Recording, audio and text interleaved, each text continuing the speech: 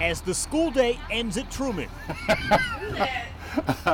Eddie Morgan's day is just beginning. Let's go now. Let's rock and roll. He takes Trumann kids where they need to go. But it's what he does after his route that makes Eddie exceptional. Get your thumbs at the end. Get that look on your face. You ready? Yep. Down, He takes special needs kids, down, places they never thought possible. rack. A lot of the kids that are in special ed, they don't compete in regular sports. And these kids, you know, they got to have something to give them something to work for. Both hands. Six years ago, Eddie started a weightlifting program designed for kids with special needs. Down, He now has a group of 14 kids. rack. He introduces them to the sport, Okay, let's see. then watches them get stronger gotta get in more ways than one. It's just very fulfilling, I mean, because a lot of people that are in special ed, they just, you know, they just don't feel like that they can do anything. You know, they have no goal. And so I tell them, I say, hey, did you know that you can set a state record? Are you kidding? A longtime special needs teacher, Down, up, he possesses the patience to work with them and knowledge down. to help them reach high. He's a former record setting lifter himself. Eddie grew up in West Memphis. I wasn't even supposed to graduate high school because I wasn't very smart.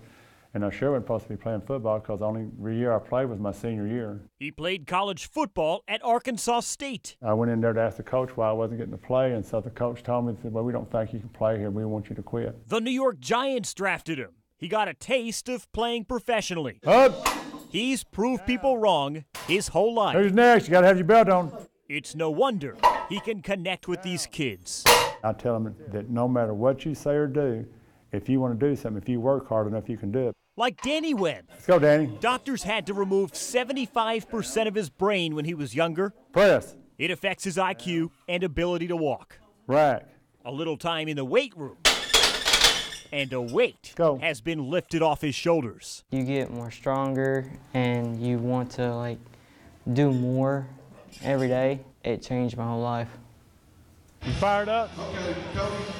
But why train without a tournament? When you get over there, you wait for that press and rack now. Eddie saw there was no local competition aside from the Special Olympics. You wait at that crowd and you tell them you got more. So he started one of those too. Danny Webb, you're on deck. This weekend, Warm it up. Warm Push! Danny finishes in first place. That's the way to go, Danny. He's not alone. Come on, Brad, let's go.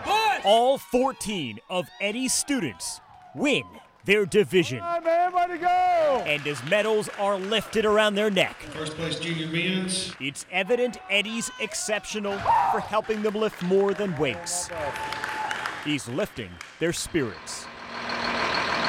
And each afternoon starts it all simply by offering a different type of lift.